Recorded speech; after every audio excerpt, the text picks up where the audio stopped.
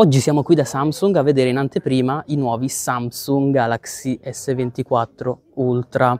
Prime impressioni molto buone per quanto riguarda i materiali, infatti qui adesso abbiamo ufficialmente il titanio per la versione S24 Ultra, mentre per quanto riguarda le versioni S24 normali abbiamo sempre dei materiali premium, rifiniture sicuramente migliori rispetto alla serie precedente. La domanda che tutti si stanno ponendo, com'è adesso lo schermo? Lo schermo è stato migliorato, abbiamo adesso ben 2600 nits. Finalmente, io dico finalmente, molti invece sono un po' tristi per questo, abbiamo uno schermo piatto, questo agevolerà tantissimo l'inserimento delle pellicole che finora nella serie S23 Ultra sì sempre stato possibile, ma ahimè sempre con qualche difficoltà, soprattutto con quelle temperate. Altra novità riguarda l'archiviazione, già nella versione da 256 GB non abbiamo più i classici 8 GB, ma ne abbiamo 12 GB di RAM e anche ovviamente nella versione da 512 e da 1 tera. Per quanto riguarda il design, alla fine rimane molto molto simile all'S23 Ultra, non abbiamo particolari cambiamenti a parte appunto i materiali,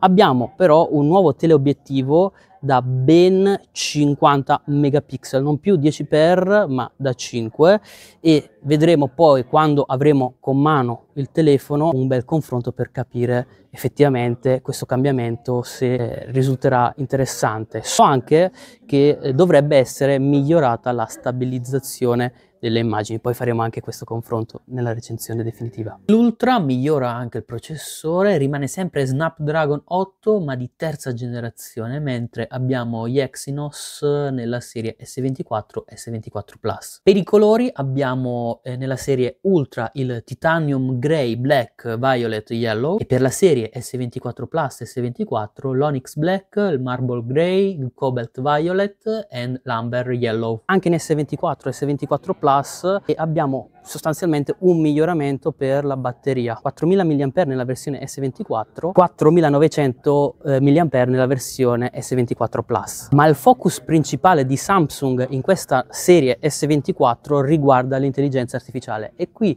ci sono alcune demo che possiamo provare per verificare effettivamente il comportamento di questa intelligenza artificiale che hanno introdotto all'interno di questi smartphone. Un'altra funzione importante che hanno introdotto in questo S24 è ciò che riguarda l'intelligenza artificiale e il riconoscimento delle immagini. Infatti adesso c'è un movimento che possiamo fare, adesso vi faccio vedere, che riconosce tutte le immagini e ci dice di che cosa si tratta, vi faccio vedere. Per l'attivazione basta tenere premuto e possiamo effettuare un cerchio per andare a eh, ricercare alla fine eh, che tipo di immagine eh, vogliamo ricercare. Per esempio in questo caso la galleria di Samsung. Ma andando con le foto, vedete un po', possiamo sicuramente avere maggiori informazioni. Per esempio vogliamo acquistare questo bel vaso, basta che teniamo premuto il tasto centrale, senza neanche scattare la foto. Facciamo il cerchietto e lui con una ricerca mi trova il vaso. Per esempio lo voglio verde,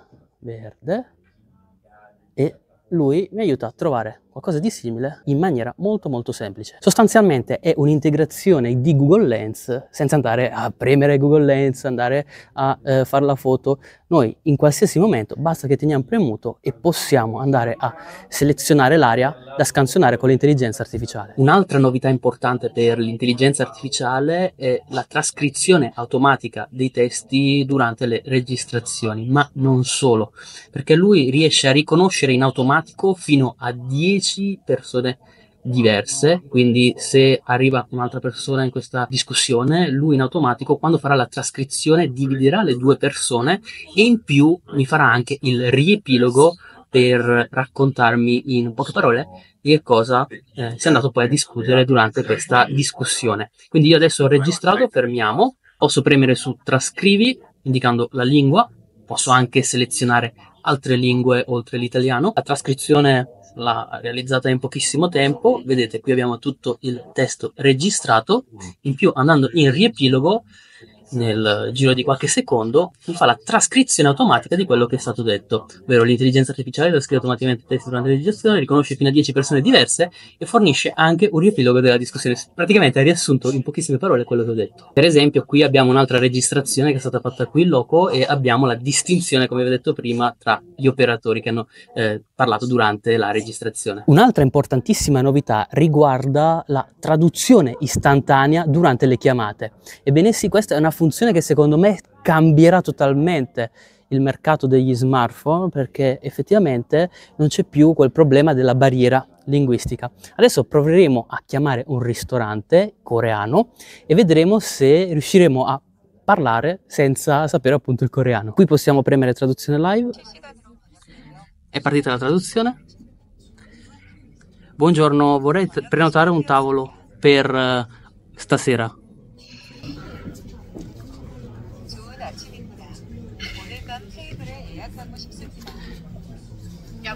여보세요. 오늘 저녁 몇 시에 예약을 하고 싶으세요?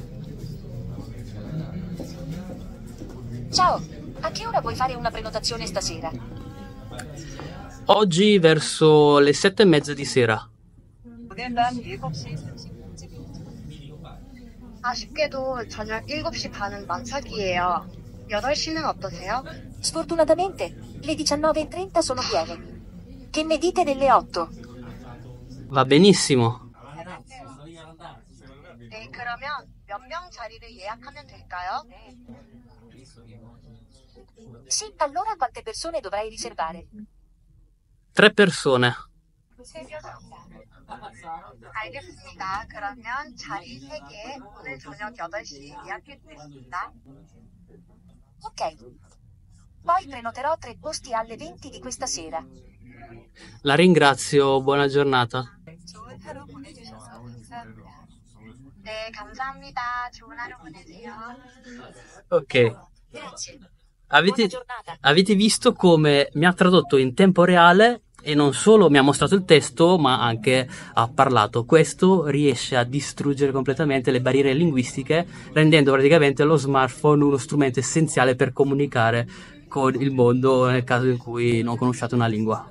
Abbiamo un'evoluzione anche per quanto riguarda le foto, infatti eh, adesso grazie all'intelligenza artificiale possiamo effettuare delle modifiche, per esempio qui ho scattato una foto di me stesso, premendo qui riesco a muovermi, la giro, vedete qui hanno creato una situazione molto carina dove c'è eh, un idrante al contrario, vediamo, facciamo genera. In automatico mi genera dietro o uno sfondo o comunque un'immagine che potrebbe in qualche modo sostituire la mia persona, un'immagine modificata con l'intelligenza artificiale. Altra cosa interessante che possiamo fare, abbiamo fatto un'immagine, non è proprio dritta, io premo di nuovo la modifica, posso raddrizzarla in questa maniera, faccio genera, vedete che ci sono tutti i bordi trasparenti, lui con l'intelligenza artificiale va a generarmi quei bordi che non sono presenti nella vita reale e mi ha raddrizzato praticamente l'immagine andando a coprire quei buchi. Per quanto riguarda il comparto fotografico abbiamo di importante il miglioramento dell'ottica del teleobiettivo che è diventato da 5x